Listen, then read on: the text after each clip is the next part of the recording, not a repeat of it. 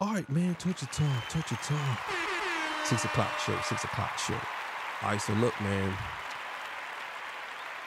we're gonna talk about Drake today, and um, what's really going on with him because it just seems like he's moving a little bit differently. And what I mean by differently, maybe not as uh, not as um appealing to most people. And Kendrick was right about a lot of stuff. So before we get into that, you know, I got to get my spill. This is Torture Talk. If you like the content, please consider subscribing. If you're new here, let me work for your subscription today. All the beautiful, sexy ladies, put one in the chat. All the fellas, you know where to find the ones at. Just don't harass them. I don't sell no merch, but I do have content absolutely free. But if you want to leave a donation, links on the screen. Cash App, PayPal is in the description. They called me a hidden gem. I went from 13 subscribers to over 11,000. You know? And let me know where you're from. I know most of y'all probably like, they know y'all know my spill by now, right? like nigga, just say, just say leave a donation or something. just say welcome to Torture Talk. Hit the like button. Just get into the content. Like, I understand, but the spill is a part of me. So it is what it is. So let's get to it. All right, so this comes courtesy of Deleted. You know what I'm saying? Let's get to it. Let's do it. Alright, before we get into this video, I need to do some damage control. No, this video is not the truth. This is all for entertainment purposes only. Please don't take what I say in this video seriously. This is all opinionated, just opinion. This isn't facts. It may be even a little fiction. Don't need to send a cease or desist letter this way. Don't get mad or get your panties in a bunch. Uh, I hope you guys enjoy though, and um, yeah. Drake over here posted up like a girl again. Get him. Knockers in his head and all. Get him. Nails done, hair done, everything did. I guess that was his inner girl anthem. I could tell that he pops his neck and smacks his lips when he's over there gossiping to Chubbs. Wait a minute. Imagine you looking like this calling another grown man Chubbs. That's diabolical. It explains this pic right here. A bunch of thugalicious men. The softest hip hop picture I've ever seen in my life. Why do they all look like they're about to cry? Boy band vibes. I feel like they're about to bust out and start singing. How do y'all expect me to take you seriously when your boss has eyeliner on? Y'all really gonna sit here and act like Drake won't cry?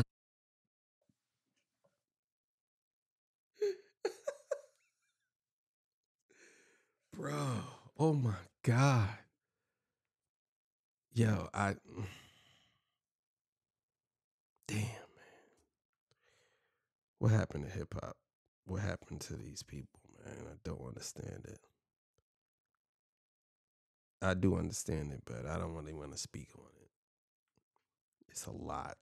And have Venom Nut smeared down his face, and you want me to take this pic seriously? Stop it. And is that Hello Kitty on your phone? Bruh, why is Hello Kitty on your phone case? Everything had to be extra feminine, didn't it? For what? Even the phone did a hair flip. Yep, I'm bullying the phone too. It's up for everybody. Ever since bruh grew some inches in his hair, he wanted to be a part of the women. He used to sing to women, and now he became a real life female rapper. But for real though, what happened to Drake, man? Growing up, we used to mock his soft ass, his sensitive simp side. We used to all clown and say, hey, don't drink and Drake. You know, a spin to the saying, don't drink and drive. But we changed.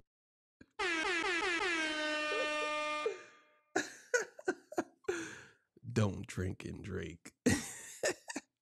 I can only think I can only imagine that that's that means like don't be drinking and then texting some chick some crazy shit.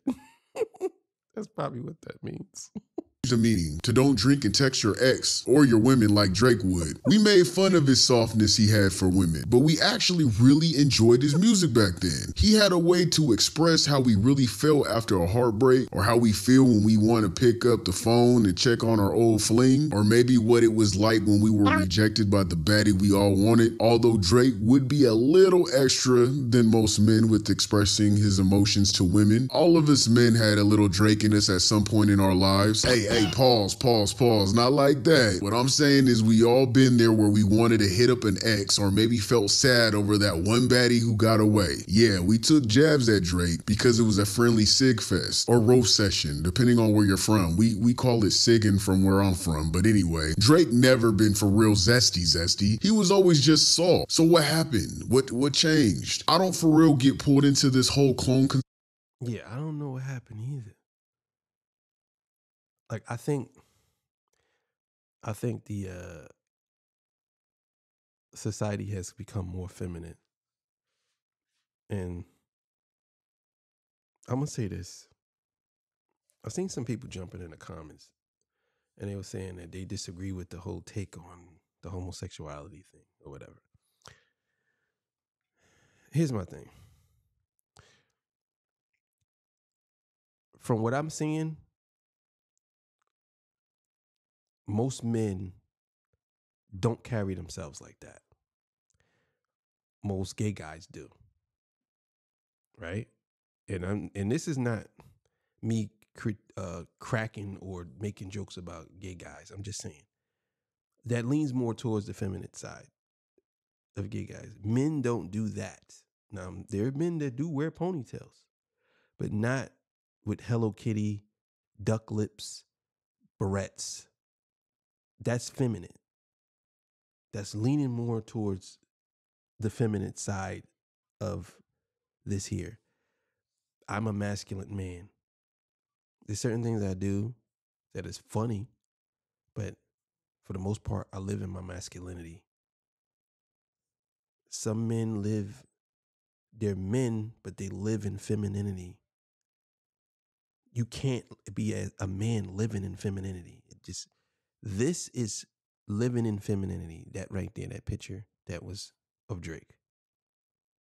So that's what I mean by that if that makes sense. Conspiracies about celebrities, but this is for real giving clone Zesty Zesty. He was always just Saul. So what happened? What what changed? I don't for real get pulled into this whole clone conspiracies about celebrities, but this is for real giving clone vibes. Bro doesn't even look like Drake anymore. Tilting his neck and poking his lips out like he's Zoolander. Bro, what are you doing for real? The Ozempic must also be a testosterone tranquilizer or something, cause what in the actual fuck? What concerns me the most is that he continues to present himself as a gangster with a tough demeanor in his music. Yet his his appearance resembles that of a teenage girl. Better yet, a teenage stud named Mookie. It just doesn't go. Mitch matching ass. Because Snoop Dogg and Nipsey Hussle have both worn their hair just like this before. Even old school pimps wear their hair like this. And sometimes they press it and style it. It's just how he presents it, I guess. Hey Drake, don't you know what the duck lips even implies? And you sitting here popping the lips right out your face. Dude can write when he wants to. He's written songs for other people and made his own hits as well at one point of his career career. He's written for the likes of Alicia Keys, Beyonce, Jamie Foxx, Kanye West, Rihanna, Rita Ora, and the list goes on. However, that didn't change the fact that he would then take the biggest L to Kendrick Lamar in the Civil War this year. But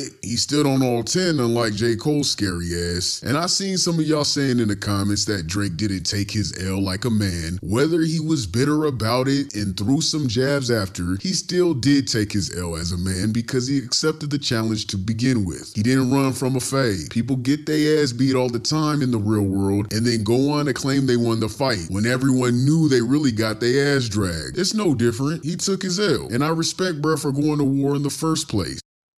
Well, that's that's facts. He did take his L and he did go to war. He he didn't he didn't back down. He didn't back down. I'll give him that. But man, I just don't get the newfound bitch in him. Drake, what's going on? Blink, my nigga, are you in trouble? I'm starting to think this might be some sort of humiliation ritual. Maybe because of his lifelong contract with Lucian Grainge, for the power he now has of other people's music was the exchange of his own manhood. Now, I'm not gonna say I believe this take, but shit, it's not something I wouldn't pass by him or anyone else. What are you willing to do for fame and for money, my nigga? I'm gonna be honest, I don't wanna look like a Powerpuff Girl. I could tell you that. I don't. Oh, Buttercup looking at Maybe this is his midlife crisis people talk about. He's trying to find himself before 40. Hey, do you, bruh. That's your business. You're rich as fuck. If you're bored, just say that then. Doing anything to make your life more exciting. I feel like I'm watching an episode of Sex in the City with Carrie Bradshaw's ass trying to uplift herself after a heartbreak. What's next for Drake, man? When is this new album coming? I know he has that new album with PartyNextDoor on the way. A lot of people are excited for that. I wonder hear what it will sound like. Rumor has it that it might drop on his birthday, October 24th, but there's also a rumor that the Boogeyman might also drop on October 24th. Everyone's saying that's how Kendrick's gonna keep trolling and keeping his foot on Drake's neck. He's gonna drop the album on his birthday. If he does that, that's so crazy. That's on some real villain shit, real demon time shit. If Kendrick does some shit like that, that's gonna be funny as hell. I ain't gonna hold. Wait, hold up. I'm gonna get off topic real quick. If both Kendrick Lamar and Drake end up dropping new albums, which one are you listening to first? Kendrick's next album is crucial. It will show whose music captures the most attention and drives the highest sales, offering insight into who holds the audience's interest. Beyond numbers, this release will determine if Kendrick can maintain the momentum and position he's carved out in the industry. While he's already secured major victories this year, some speculate that he might not be able to keep his dominant spot. This album will be the real test of whether Kendrick has truly won over the audience for the long run. Yeah, he won the war, but did he secure the people? I'm gonna be honest, this is I mean, that's a good question. But at the same time, is it's I can't really apply that to him because he don't necessarily need to do that. He never did that. The war was the war. It is what it is. Now, if, you, if people say that what he's doing has to secure the people, I think he already got he already secured the people because whatever he do, whatever he drop is gonna go crazy. Doesn't matter. Whatever he drop is gonna go crazy. People are waiting for it. They wait till next year for it. But I don't think he's gonna drop on Drake's birthday. I don't think he's gonna do that my take, and y'all might not agree, but Kendrick needs to come out like old Kendrick, Rigamortus, Mad City, Alright, Humble, Look Out for Detox, even the Range Brothers and Family Ties, or his albums like Damn and Good Kid, Mad City. And even though Mr. Morale and the Big Steppers was an album that needed to age to be appreciated, this album seems to have shifted the public's perception of Kendrick, casting him as a saint and creating expectations for him to always behave accordingly. However, his career has consistently centered centered around the internal struggle between righteousness and embracing darker, more complex aspects of his identity. He needs to remind the people who the fuck he is and what the hell he's about. People listen to Drake because people like the way he sounds instead of actually listening to the lyrics. And these same people call Kendrick's music boring because of his last project. Kendrick needs to find a balance that appeals to a broader audience. Even though Not Like Us was more of a parody song to shut the gobblers up when they were saying that he made boring tunes and he had to let them know I can I can make ass shaking music too and I'll still kill your savior. He would need to figure out how he can deliver the melodic elements that resonate with the Drake gobblers while also staying true to the style that his longtime fans have come to appreciate. It can't be all the way conscious though, not like Mr. Morale or Section 80. Even if his core fans want this, it can't. It needs to have balance balance, like Overly Dedicated or the Damn album. So this will be interesting. Don't forget, Akademiks, Mal, Adin Ross, all of them, they are all Drake meat munchers and are here to push a narrative against Kendrick for Drake because their fan base are easily manipulated. And I honestly don't think they're on payroll. They're just male groupies. I feel like Drake puts a good word in for them to get these sponsorship deals, but that's where it stops. I now, I agree with that. Adin Ross, I think, is a little bit different because I think him and Drake own something together. The other people, no. But I do believe that they are on payroll. I do believe that. Um, but what he's speaking is all facts right now. Let's keep it going wouldn't even give them that type of clout of actually being on payroll. They're never invited to Drake's outings or even his events, which lets me know they aren't a part of his team. They don't get free concert tickets. I don't never see him pull them on stage or takes pictures with these guys. And we all know how Drake is obsessed with his friends. They're just pawns for Drake. He's using them. So the bot allegations will be in discussion again, obviously. But Kendrick's not gonna need the bots because everyone is waiting for this drop. I also peeped that Tyler the Creator passed on the October 24th weekend date. Most albums are known to drop on a Friday. Tyler publicly announced he's coming out on the 28th, which would be a Monday, to let whoever know that wants to drop Thursday the 24th or Friday that it's open for them to get their sales in. I'm gonna be honest with you, I predict that K Dot will drop on the 24th or sometime that weekend. SZA even recently posted on her story about Kendrick dropping, as well as Schoolboy Q. And I'm pretty sure this will be the way Kendrick keeps trolling Drake. Or I could just be wrong, and if so, fuck it. I thought that would be hilarious. Everyone is saying that this was a 20v1 battle, but was it? Yeah, Kendrick had all the rappers on his side, but Drake had the media and has had every big media streamer or rap commentator on his side spinning narratives and feeding the people. Kendrick had all the rappers on his side, but Drake had the media and has had every big media streamer or rap commentator on his side spinning narratives and feeding the people the lies he wanted them to digest. Man, he even had fun. That's hundred percent facts. He definitely did have have the media on his side. And look at Uma Thurman. Look at her. That was a great movie though, I ain't gonna lie. And well the first the first one was. First second one was kind of weird. She was in a grave and so I go up there. Come on, man. Just corny.